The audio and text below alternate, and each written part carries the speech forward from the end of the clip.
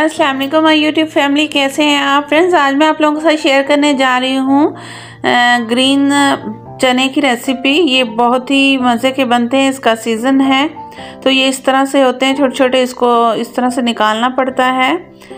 थोड़ी सी मेहनत होती है बट ये बहुत मज़े के बनते हैं फ्रेंड्स इस तरह से मैंने तमाम इसके जो चने थे, निकाल लिए थे ग्रीन चने। तो मैंने प्रेशर लिया था प्रेशर में मैंने दो दो चम्मच ऑयल ऐड कर दिया था, साथ ही मैंने इसमें अनियन ऐड कर दिए थे। और अनियन को ब्राउन होने तक पकाएँगे। इससे पहले फ्रेंड्स प्लीज़ मेरे चैनल को सब्सक्राइब करें लाइक करें शेयर करें, जो वीडियो पे नए आने वाले हैं। उनके लिए भी काइंडली रिक्वेस्ट है कि वो भी मेरा चैनल सब्सक्राइब करें। प्याज देखें जी ब्राउन हो चुके हैं। अब इसमें मैंने जिंजर गार्लिश और ग्रीन चिली का पेस्ट ऐड किया है। साथ मैंने ग्रीन चिली और एक अदर टमाटर लार्ज था, वो भी ऐड कर दिया था कट करके। थोड़ा सा इसमें पानी ऐड किया था और साथ ही मैंने इसमें स्पाइस ऐड कर दिए थे, इसमें रेड चिली टर्मिक पाउडर और सॉल्ट धनिया पाउडर इसमें मैंने ऐड कर दिया था, इसे मिक्स किया।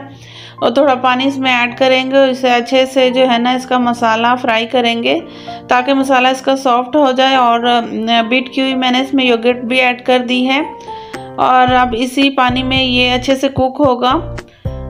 और मसाला बहुत अच्छे तरीके से आपने तैयार करना है। जितना अच्छा मसाला तैयार होगा, उतना ही मज़ेदार ये ग्रीन चने की रेसिपी तैयार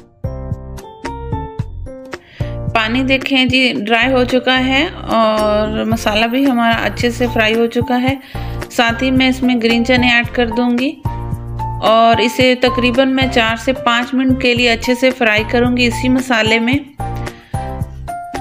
देखें जी, अच्छे से ये फ्राई हो रहे हैं और इसे तीन से चार मिनट हो चुके हैं।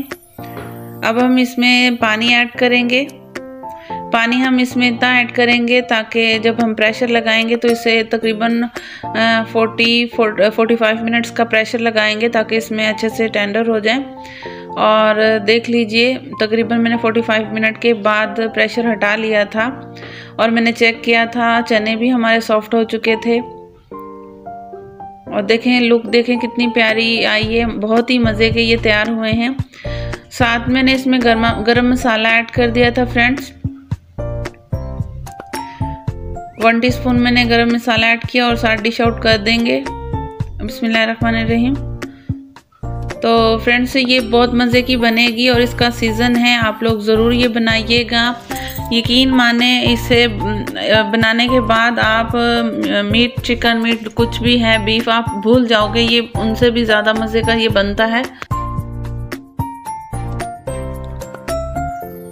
आई होप आप लोगों को मेरी ये ग्रीन चना रेसिपी पसंद आई हो। मेरे स्टाइल में अगर पसंद आई हो तो चैनल ज़रूर सब्सक्राइब कीजिएगा और कमेंट सेक्शन में कमेंट ज़रूर कीजिएगा और अपना हमेशा की तरह ख्याल रखिएगा। और मुझे दुआओं में याद रखिएगा। अल्लाह हाफिज़।